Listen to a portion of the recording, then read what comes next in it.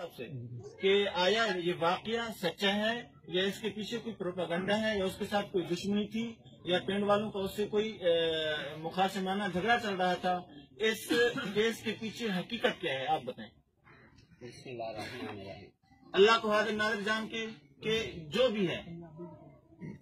جی میں جو کہوں گا خلفن بخلفن خلفن کہوں گا انشاءاللہ۔ میرے کھیت سے کام کر دیا سی عورتیں ਉੱਥੇ ਇਹ ਵਾਕਿਆ ਪੇਸ਼ ਆਇਆ। ਤੇ ਮੈਂ ਇਹਨੂੰ ਆਸਿਆ ਨੂੰ ਪੁੱਛਿਆ ਕਿ ਤੂੰ ਇਹ ਗੱਲਾਂ ਜੋ ਅਸਾਂ ਕਰਦੀਆਂ ਤੂੰ ਇਹ ਕੀਤੀਆਂ ਮੇਰੇ ਕੋਲ ਇਕਰਾਰ ਕੀਤਾ ਕਿ ਹਾਂ, ਮੈਂ ਗੱਲਾਂ ਕੀਤੀਆਂ ਨੇ। ਮੈਂ ਕਿਹਾ, ਤੂੰ ਕਿਉਂ ਕੀਤੀਆਂ ਨੇ? ਉਹਨੇ ਕਿਹਾ, ਮੈਂ ਆਪਣੇ ਦੀਨ ਦੀਆਂ ਸਾਰੀਆਂ ਕਿਤਾਬਾਂ ਪੜ੍ਹੀਆਂ ਨੇ, ਮੈਂ ਸਾਰਾ ਕੁਝ ਜਾਣਦੀ ਆ ਇਹ ਕੀ ਜਾਣਦੀਆਂ ਨੇ? ਮੈਂ ਸਾਰਾ ਕੁਝ ਜਾਣਦੀ ਆ ਇਹ ਕੀ ਜਾਣਦੀਆਂ ਨੇ? تے میں فلسن با ہلفن مسجد کھلو کے قرآن پاک کے سامنے رہ کے میں یہ گل کہنا کہ میرے کو اقرار کیتا اور انہیں یہ گلاں کیتیاں۔ جی، یہ اور جی بھائی افضل صاحب تھے بھائی دریس صاحب جنہوں نے جو کھیت کے مالک ہیں جب یہ جھگڑا ہوا تو ان کو پتہ چلا یہ موقع پہ پہنچے۔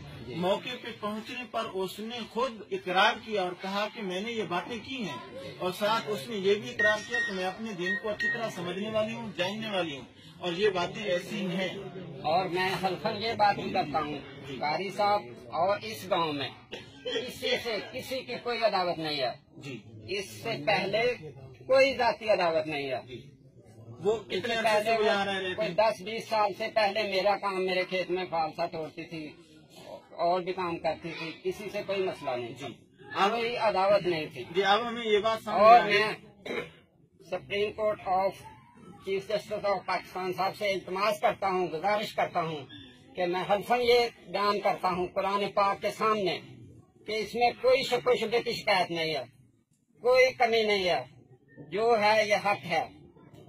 اور ہم اس حق کے پیچھے جان دینے کو تیار ہیں انشاءاللہ۔ انشاءاللہ انشاءاللہ۔